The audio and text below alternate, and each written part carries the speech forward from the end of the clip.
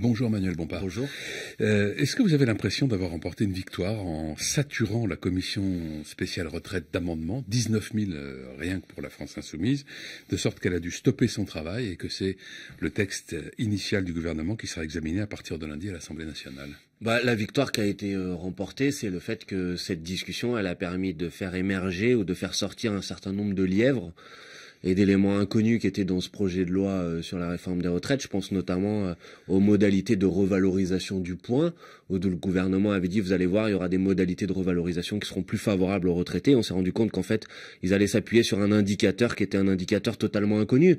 Et ça, on ne l'aurait pas su s'il n'y avait pas eu euh, cette pas seulement volonté... inconnu, c'est un indicateur qui n'existe qui pas en l'état actuel des choses. Exactement, qui est à créer. Mm. Donc ça renforce quand même euh, le caractère assez loufoque euh, du travail qui est demandé aux députés à l'Assemblée nationale. C'est-à-dire on leur demande de voter sur un texte à trous euh, avec euh, un certain nombre d'éléments qui sont tout à fait inconnus ou inexistants. Et ensuite on peut- vient nous donner des leçons de démocratie. Je trouve qu'il y a un toupet extraordinaire dans cette démarche. Et ça, ça n'aurait pas été possible si euh, les députés de la France insoumise n'avaient pas fait ce travail, qui est un travail euh, euh, effectivement d'amendement, de, de, de, de- on a appelé ça nous une grève du zèle, c'est-à-dire le Mm. fait de forcer le gouvernement à répondre aux questions qui sont posées sur ce projet de loi sur les retraites. Est-ce que vous allez utiliser la même stratégie euh, en séance à l'Assemblée nationale? Oh, Bien sûr, mais nous, nous l'assumons totalement. Ce projet de loi est un projet qui est rejeté par une majorité de la population, qui est rejeté par une majorité des organisations syndicales. Il y avait encore un sondage en début de semaine qui disait que si ce projet de loi était soumis à référendum, une majorité des Français voteraient contre. Et donc, c'est normal que des députés utilisent tous les moyens constitutionnels qu'ils ont à leur disposition pour essayer de lui faire obstacle. Et c'est ce que fait la France insoumise. Est-ce que vous ne cherchez pas finalement à obliger le gouvernement à recourir au 49.3, c'est-à-dire une adoption sans vote, pour ensuite dire, vous voyez comme ils sont autoritaires Non, ça c'est, enfin, je, je- c'est assez extraordinaire. Nous, on n'utilise pas cette stratégie du pire, mais c'est quand même le gouvernement qui est responsable de l'organisation des débats parlementaires. On nous dit, mais c'est parce que vous avez déposé 19 000 amendements que le travail en commission a été interrompu. Non, le travail en commission a été interrompu parce que le gouvernement a choisi de ne pas étendre son calendrier. Il aurait très bien pu dire, bon, il y a beaucoup de questions sur notre réforme, on va prendre davantage de temps pour l'étudier. C'est le gouvernement, depuis le début, qui a choisi une procédure d'examen du texte qui est une procédure accélérée. On sait très bien pourquoi. Parce qu'il veut que la première lecture soit terminée avant les élections municipales. Mais c'est pas aux oppositions de se soumettre au calendrier proposé par le gouvernement et qui l'arrange.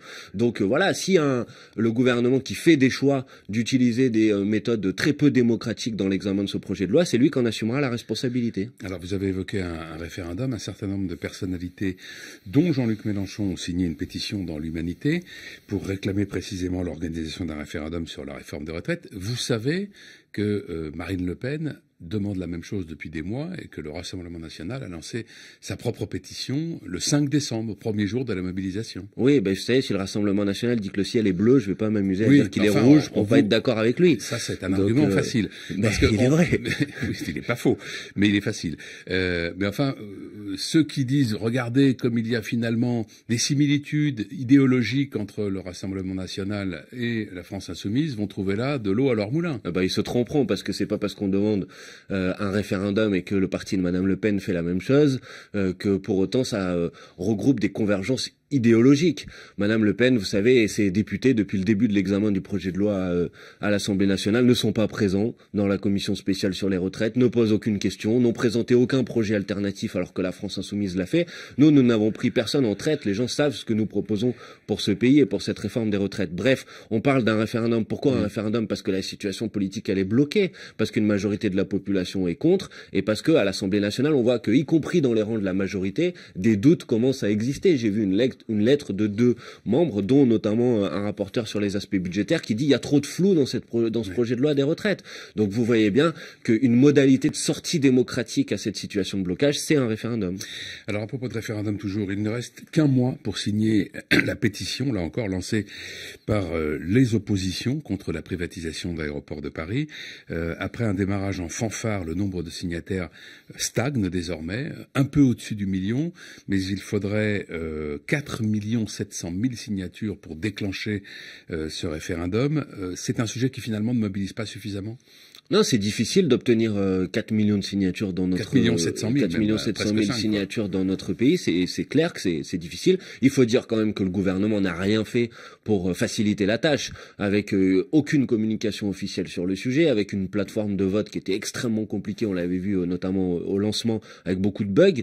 Et puis surtout, moi, je veux dire que le président de la République Emmanuel Macron, lors du grand débat, avait dit qu'il voulait assouplir les modalités du référendum d'initiative mmh. partagée et dire qu'il fallait plus qu'un million de signatures pour pouvoir obtenir ce référendum. on a les 1 million de signatures, donc que le président de la République mette en œuvre sa promesse et qui convoque ce référendum pour faire en sorte que les Français se prononcent sur cette question importante de la privatisation d'ADP. Ça n'est pas la première fois que vous rappelez, vous ou certains de vos collègues, euh, pas seulement d'ailleurs à la France insoumise, euh, parmi les partis qui étaient à l'origine de cette démarche, qui rappellent le président de la République à cette promesse faite pendant euh, le, grand débat. Pour l'instant, bah, pour l'instant, aucune réponse, pas d'éléments nouveaux du côté de l'Élysée? Non, on n'a aucune aucune réponse, qui est quand même un problème, parce que s'il y a euh, euh, un an, c'était une bonne mesure de descendre à un million euh, le seuil, je comprends pas pourquoi ça le serait plus maintenant, et on peut pas prendre l'argument du fait que ça n'a pas encore été traduit dans le projet de loi. L'intention a été affichée, maintenant il faut qu'elle soit mise en œuvre.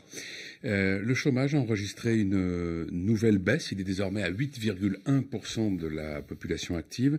C'est son plus bas niveau depuis 9 ans. Est-ce que euh, vous refusez de mettre ça au crédit d'Emmanuel Macron? Non, mais euh, le problème aujourd'hui, c'est que maintenant, plus personne n'est en capacité de savoir si les chiffres du chômage sont vrais ou ne sont pas vrais. On a tellement de catégories, tellement d'indicateurs, des modalités de calcul différents qu'il est très difficile de lire la réalité de ces chiffres. Moi, ce que j'observe, c'est que ce qui a augmenté, par contre, dans notre pays depuis maintenant euh, plusieurs années, c'est le taux de pauvreté, ça on n'en parle jamais. Et la question du retour à l'emploi, j'ai l'impression que les gouvernements maintenant ont choisi euh, de privilégier la baisse des statistiques du chômage sur la baisse du chômage tout seul. Quand vous regardez les chiffres de Pôle emploi, vous savez que 20% des gens aujourd'hui sortent de Pôle emploi parce qu'ils reprennent un travail. 80% des gens qui sortent de Pôle emploi le, font soit par euh, soit pour euh, manque d'actualisation de leur dossier. Bon, je ne crois pas que tout ça soit raisonnable. Donc vous voyez, j'aimerais que ces chiffres soient réels, mais je suis en incapacité de le dire ce que j'observe, c'est que la pauvreté augmente dans notre pays, que la précarité augmente dans notre pays, et quoi qu'il arrive, ça, c'est pas une bonne chose pour notre pays. La campagne pour les municipales est marquée par euh, un, niveau de violence assez inédit, euh, en particulier d'ailleurs dans une campagne municipale. Euh, des candidats de tous les bords politiques sont physiquement agressés, parfois de manière très violente. Il y en a eu chez vous, il y en a eu au Rassemblement national, il y en a eu au sein de la majorité. Comment vous expliquez ce phénomène? Ben, je pense que ce phénomène traduit une montée de la tension dans le pays et dans duquel le gouvernement a une responsabilité directe et immédiate, parce que quand vous brutalisez le débat politique comme il le fait, quand vous décidez de passer en force, de marcher sur les oppositions, de marcher sur l'opposition d'une majorité de la population, par exemple sur le projet de loi sur les retraites, eh ben nécessairement ça génère et ça pousse les gens dans des formes d'action qui sont des formes d'action de plus en plus radicales. Donc moi j'appelle au calme, je suis pour euh, le respect du débat démocratique, je considère que dans une élection ça doit être programme contre programme et que c'est aux électrices et aux électeurs de trancher.